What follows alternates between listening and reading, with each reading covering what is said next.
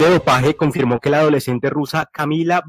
Valiaeva, quien se hizo famosa la semana pasada por hacer un salto de prueba de patinaje en hielo en los Juegos Olímpicos de Invierno de Beijing, que ninguna otra atleta había hecho en la historia, salió positiva a una prueba de la sustancia prohibida trimetazidina, utilizada para ayudarle al corazón a trabajar de manera más eficiente, que fue realizada el pasado mes de diciembre en el campeonato ruso. Con la decisión se suspende el otorgamiento de medallas de equipo para el evento, mientras el Tribunal de Arbitraje para Deporte CAS adopta una decisión final sobre el caso.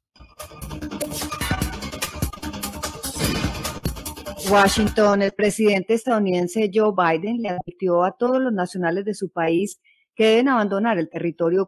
ucraniano de inmediato ante la posibilidad de que se presente una invasión por parte de tropas rusas, advirtiendo que las condiciones podrían deteriorarse rápidamente seguido horas después por el mismo llamado a sus conacionales por parte de la Cancillería británica. Adicionalmente, el Departamento de Estado ordenó la salida de la mayor parte de su personal de las embajadas y consulados en Kiev. La administración Biden le otorgó el calificativo de inminente a la posibilidad de que se dé la acción militar del Kremlin en las próximas semanas o incluso días, y el secretario de Defensa Lloyd Austin ordenó el envío de 3.000 efectivos adicionales a Polonia. Finalmente, el presidente Biden advirtió a su homólogo Vladimir Putin en una llamada telefónica que su,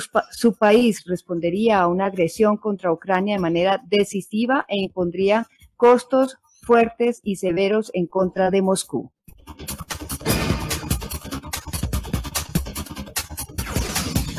Berlín. El canciller alemán Olaf Scholz viajará a Ucrania a reunirse con el presidente Volodymyr Zelensky, posteriormente a Ucrania, a Rusia, donde se verá con Vladimir Putin, buscando detener una agresión de Moscú contra Kiev.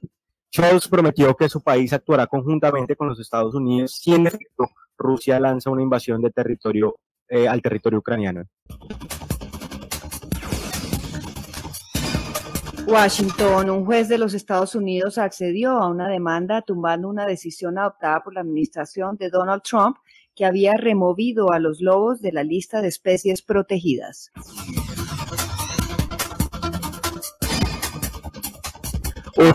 Las protestas de transportistas contra mandatos de vacunación contra el COVID-19 continuaron en el Canadá, cerrando tres importantes cruces de frontera con los Estados Unidos y llevando al primer ministro Justin Trudeau a advertir que los bloqueos están afectando empleos, empresas y a la economía nacional. No obstante, los organizadores de la protesta prometieron permanecer hasta tanto no se cumplan sus exigencias y por su parte el estado de Ontario declaró el estado de emergencia, amenazando con multas de 100 mil dólares de tiempo de prisión a quienes continúen con los bloqueos, dando arresto a decenas de personas que han desacatado a una corte que ordenó despejar el puente embajador entre los Estados Unidos y Canadá.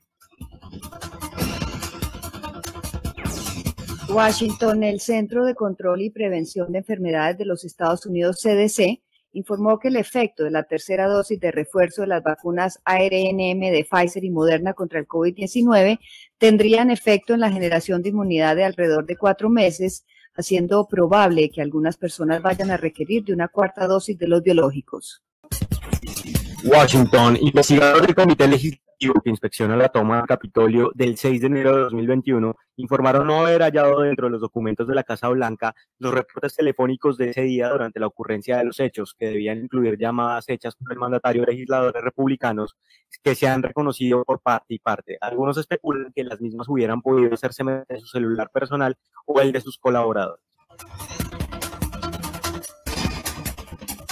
Washington, la farmacéutica Pfizer anunció el aplazamiento de la solicitud de uso de emergencia para su vacuna contra el COVID-19 para niños menores de 5 años hasta tanto tenga más información sobre el efecto de protección de tres dosis del biológico después de que las pruebas con un régimen de dos dosis arrojaran resultados mixtos.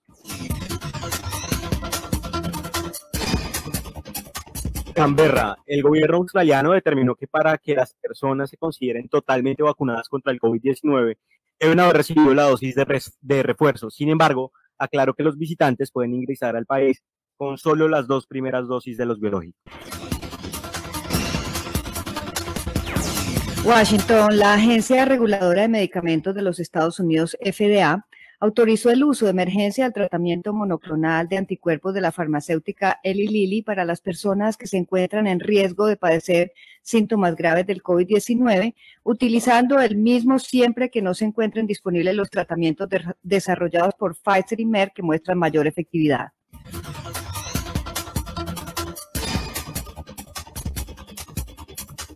Washington, nuevos estudios científicos revelaron que el COVID-19 puede destruir la placenta, llevando al fallecimiento de fetos durante la gestación. Moscú, Rusia está registrando una fuerte ola de contagios de COVID-19 a causa de la variante Omicron, llevando a un nuevo récord de 200.000 casos nuevos diarios.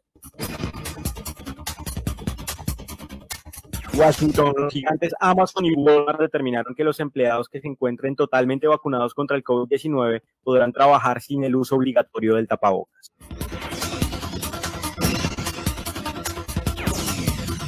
París, la policía de la capital francesa sacó a las calles sus vehículos acorazados con el fin de evitar que marchantes de la libertad se tomen la ciudad tal y como ha venido ocurriendo en las principales ciudades canadienses. Washington, el presidente estadounidense Joe Biden firmó una orden ejecutiva permitiendo que 7 mil millones de dólares en recursos congelados del Banco Central afgano se puedan distribuir dentro del país asiático y destinar a beneficiar los litigios interpuestos por los familiares de las víctimas de los ataques terroristas del 11 de septiembre de 2001.